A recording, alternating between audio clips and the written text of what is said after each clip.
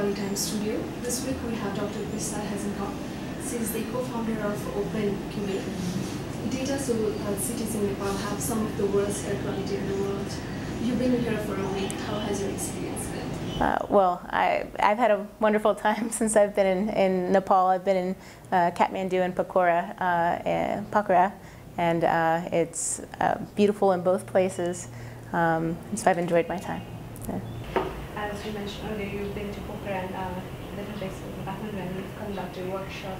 how are Nepali organizations, institutions dealing with this issue? So sincerely, um, Nepal in general has had more political will behind the issue than many places I have visited.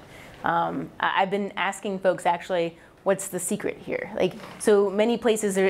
I know, I know, it, I know it's not a solved issue by any means, and there's a lot of um, a lot of work to be done. But the fact that you know folks are telling me that it's a political issue to be voted on here, um, that's not the case in many many places. So I'm curious like how that happened, mm -hmm. so we can share that with our global community because that's that's some magic here. I mean, uh, Nepali Times we provide live air quality data from US Embassy monitoring station, but we've always wonder how do you gauge um, impact of such information?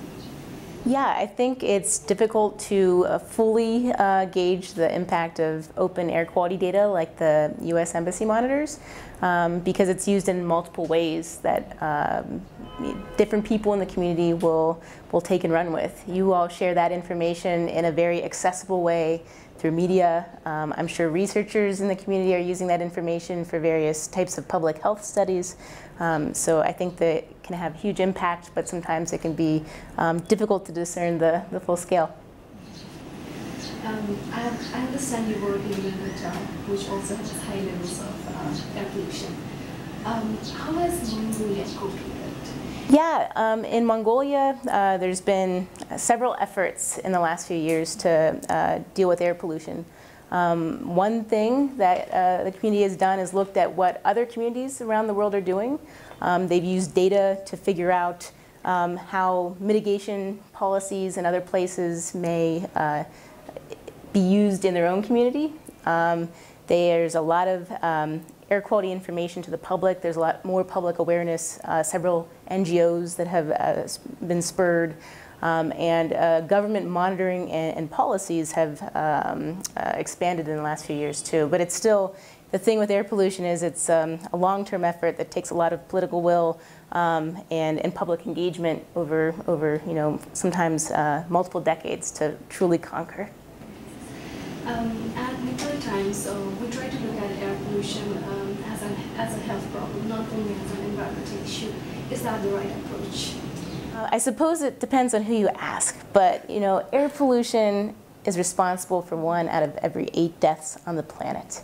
Um, that's, that's a staggering number. So to me, um, public health is number one when it comes to air pollution, especially when it is such a solvable problem.